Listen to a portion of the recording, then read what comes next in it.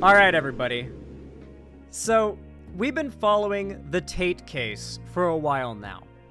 If you've looked at like the Andrew Tate red pill sphere, you'll have noticed that in the case of Andrew Tate's uh, sex trafficking charges, which have actually had a lot more added on to them, by the way. In fact, several minors, women who were underage and quite young, um, have come out, and the charges of sex trafficking minors have been added um, to the the things that are being investigated. Right now, the Tates are under investigation. They have been detained for as long as you can legally detain someone in Romania, and they've been under house arrest for as long as uh, for as far as I know. However, in regards to many of their other crimes that have ta- taken place and been done and been found out outside of Romania, I mean, bro's in trouble in a lot of places. He's desperate to escape to Dubai, where they won't extradite him and he won't be in any trouble and he can live his like super luxurious Bugatti, uh, sex worker, OnlyFans girl, tiger pooping life, uh, or whatever he wants to have in Dubai. Um, but he can't quite get there because they know he's a flight risk and they're holding on to him. Now, if you've seen Andrew Tate fans or Red Pillars talk about this, you'll have heard them say they let him out of jail. They they couldn't get him on anything. They had no evidence. They just dropped it. That's why you don't hear about it anymore. And the reason why those people haven't heard about it anymore, it Bugatti, is because um, Andrew Tate has stopped talking about it. After he got let out of jail and put on house arrest, he said, See, they've got nothing on me. They had to let me go because they got nothing on me. I'm free to go. I'm an innocent man. I'm a completely innocent man, and the truth will come out. And so he's basically told his audience he's off the hook. And that he's got nothing to worry about anymore as like the ultimate strong arm bluff to try and convince them that he did nothing wrong, he's innocent, and he will not be sent to jail. However, here's the thing the law doesn't care, and law enforcement doesn't care about whether or not Andrew Tate's fans think he's innocent.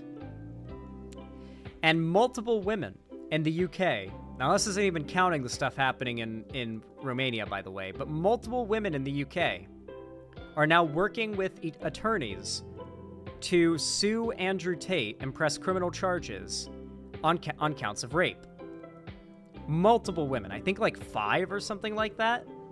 Like it's a surprise, like a pretty high amount of women. And this is all on top of the stuff happening in Romania. This guy is going to be bouncing between countries to go to court. And he's going to be spending the time in between in cells.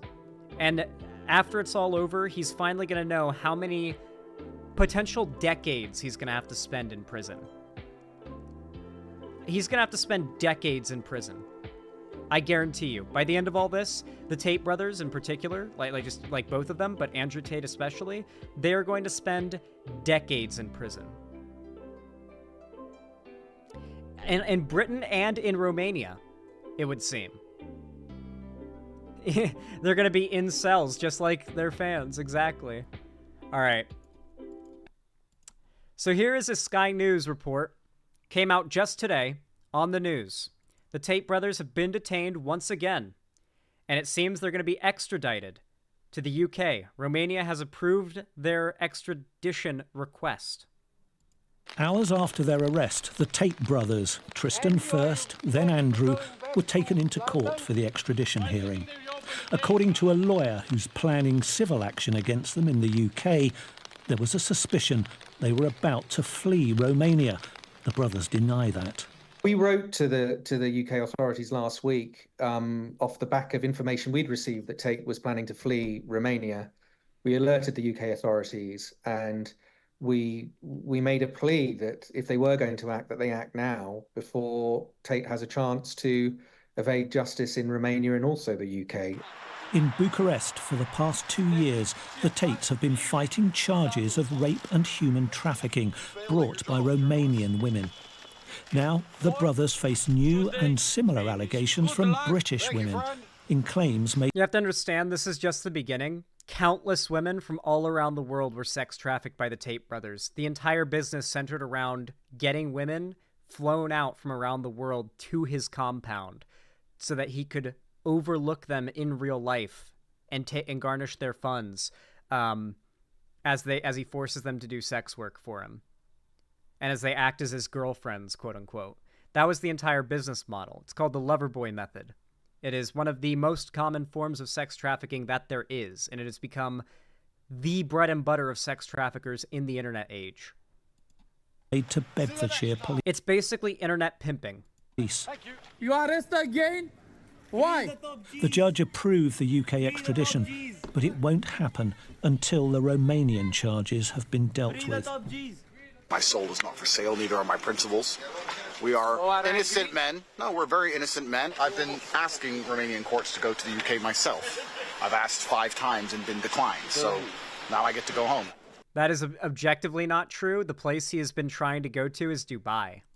The brother's lawyer spoke outside court.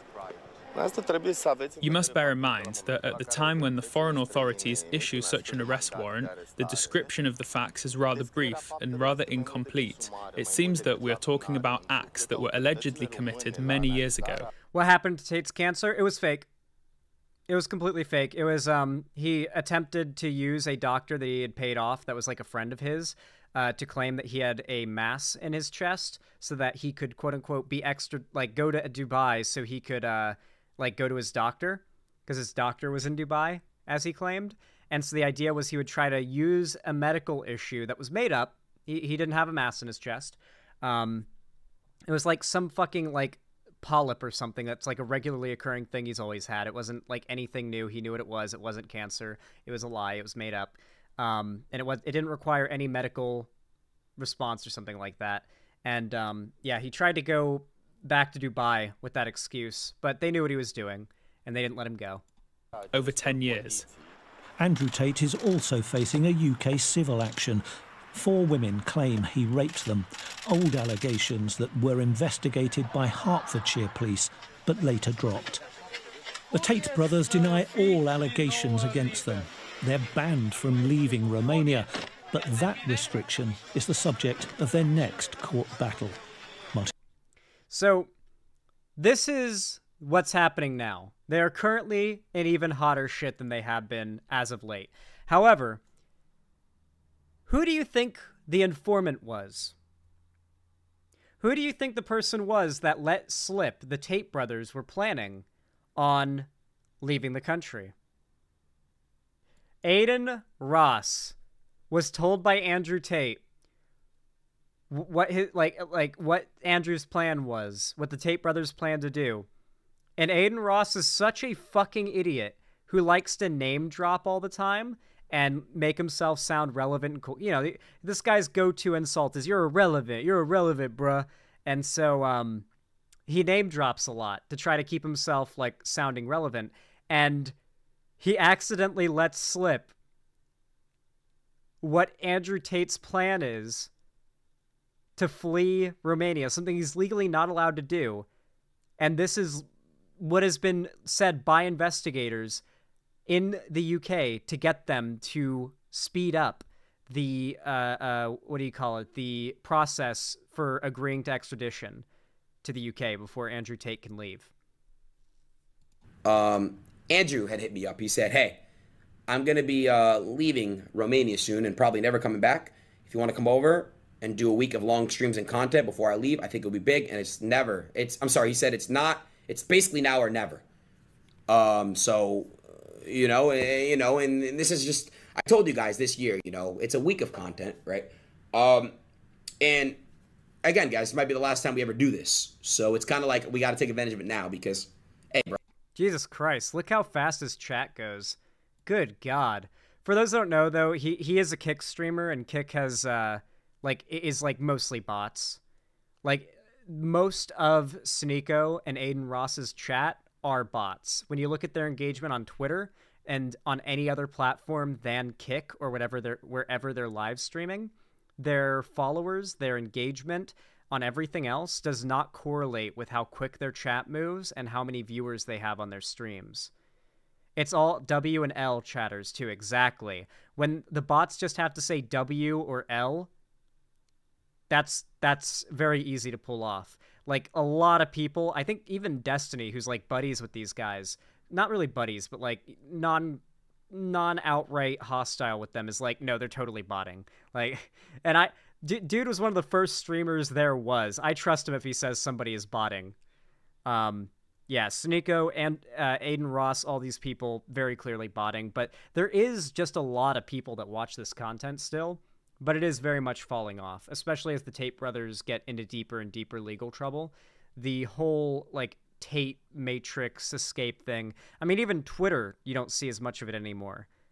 It's not like it's being suppressed on there. Like Elon Musk is an anti-red pill. It's just not as popular as like the current culture war talking points again, guys, it might be the last time we ever do this. So it's kind of like we got to take advantage of it now because, hey, bro, it's it's it's just it's basically like yeah, it's like that. Um, and then um, so yeah, Adin Ross fucked over Andrew Tate. I got to admit, it doesn't get funnier than that. That is actually fucking hilarious. And in case you're wondering, like, what is the verification of this? We contacted the British police to alert them to this and immediately issue a warrant for his arrest in Romania and deportation to the UK. Jack Beeston, one of the lawyers, tells Aftonbladet, uh, William Afton, that they saw a video on the social media platform Twitter where it appears that Tate told the streamer profile Adin Ross that he will leave Romania soon and not come back. The lawyers are representing Tate's for uh, alleged British victims. The accusations in Great Britain relate to sexual abuse between the years of 2012 and 2015. They've been at this for a very long time. The massive explosion in the popularity of the Tate brothers online is just sort of like a tail end of their career thing, believe it or not. Most of their money and like influence was gained before they even blew up on the internet. It's really fucking crazy how long they got away with doing this stuff and it took it, it took them becoming worldwide famous for justice to be done after like over a decade of sex trafficking women, particularly minors.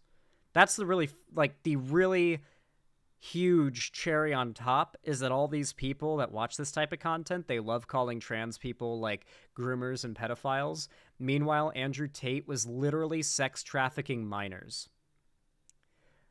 But because they have to hold up with the whole Me Too has gone too far talking point, even when it comes to kids being sex trafficked, they have to say, oh, no, he's innocent, he's innocent, it's all made up. Which just very clearly indicates how much they don't believe in or care about anything, not even the kids they claim to care about trying to protect.